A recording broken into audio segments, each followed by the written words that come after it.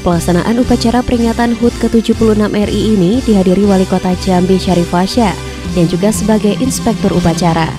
Kemudian hadir Wakil Wali Kota Jambi Maulana, unsur Forkopimda Kota Jambi, serta camat dan lurah Kota Jambi dan tamu undangan lainnya. Dalam pelaksanaan upacara, anggota Paskibraka Kota Jambi sukses mengibarkan bendera merah putih di langit tanah pilih Pusako Batua.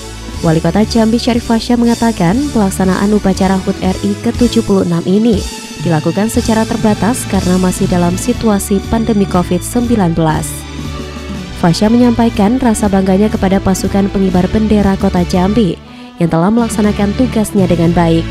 Fasya menambahkan dalam mengisi kemerdekaan Republik Indonesia tahun ini, kegiatan lomba-lomba ditiadakan. Hal ini untuk mencegah penularan COVID-19 mengingat saat ini kasus COVID-19 di kota Jambi masih tinggi.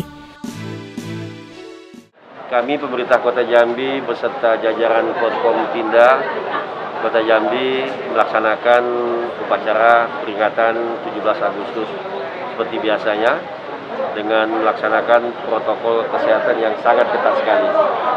Kemudian juga eh, barisan dari anak-anak paskib juga melaksanakan tugas dengan baik dan kami puas dengan hasilnya Alhamdulillah.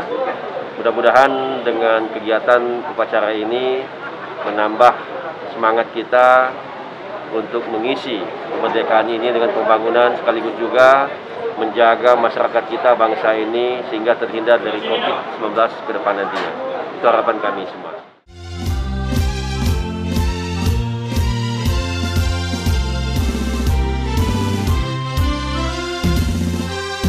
Suci Mahayanti, Jambi TV.